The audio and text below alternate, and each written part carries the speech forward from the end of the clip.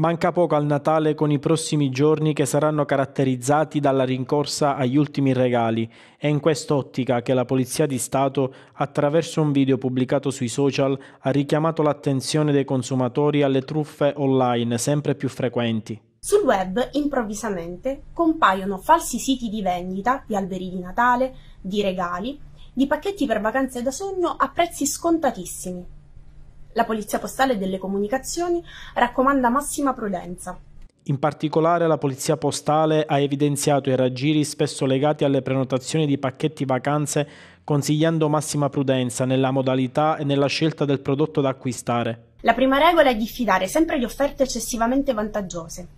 È preferibile acquistare da siti ufficiali o comunque già conosciuti, utilizzando in ogni caso una carta prepagata nel caso in cui si decida di acquistare da un sito per la prima volta, si consiglia di controllare, attraverso un comune motore di ricerca, le recensioni pubblicate da altri utenti e di verificare il feedback di gradimento del venditore.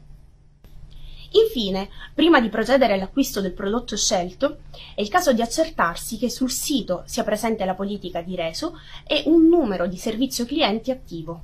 Bastano poche regole da seguire quindi per evitare spiacevoli delusioni e fare in modo che le uniche sorprese siano quelle sotto l'albero.